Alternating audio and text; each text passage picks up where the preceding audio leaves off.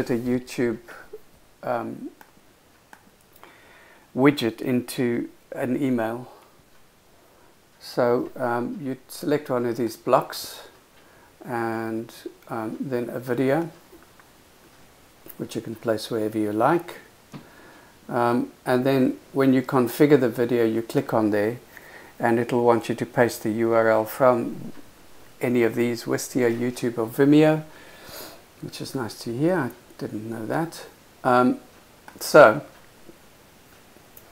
I'll go someplace and I'll take this video, um, share it, and then that is the URL that I'll take. So I'll copy that. Um, and paste it in there.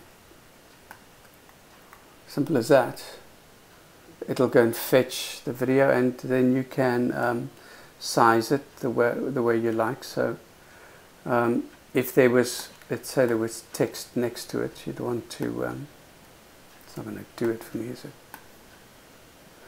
So if it was like that, maybe I'd want it that size.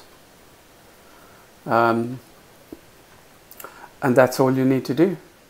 That'll work. On the, the I think where we've had trouble with this is on the landing page or the thank you page. Putting the video in there doesn't seem to work in the same way.